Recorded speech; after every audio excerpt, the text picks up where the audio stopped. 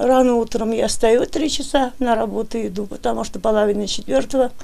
Каждое утро сюда захожу. И перед сном. Каждое утро Гульгины Гаязовой начинается здесь. Она очень долго стоит и разговаривает со своим сыном, который гордо смотрит на нее через фотографии. Больше года тому назад Ирик Садыков героически погиб в зоне СВО. Похоронили солдата в городе Валуйки, Белгородской области. Там у него жена и маленькая дочь. Ирик похоронен на кладбище героев. Я ездила и на похороны, Посчастливилось съездить и через год. В селе Верхняя Ошма женщина переезжает после гибели сына. Это было его желание. Ирик всегда мечтал, чтобы я жила в родной деревне, рассказывает мама солдата. Чтобы забыться, женщина начинает обустраивать быт, сажает много цветов, заводит скотину. Ассорти.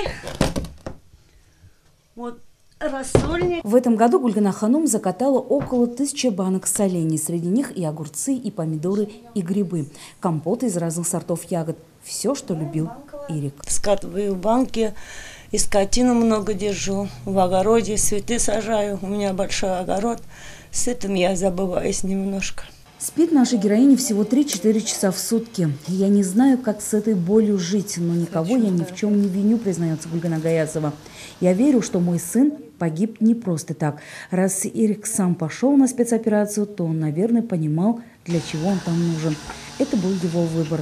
Мой сын погиб за родину, повторяет мама солдата.